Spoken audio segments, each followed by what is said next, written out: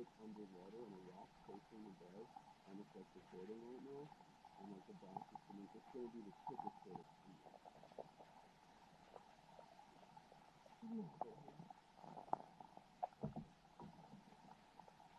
Right here, now, there.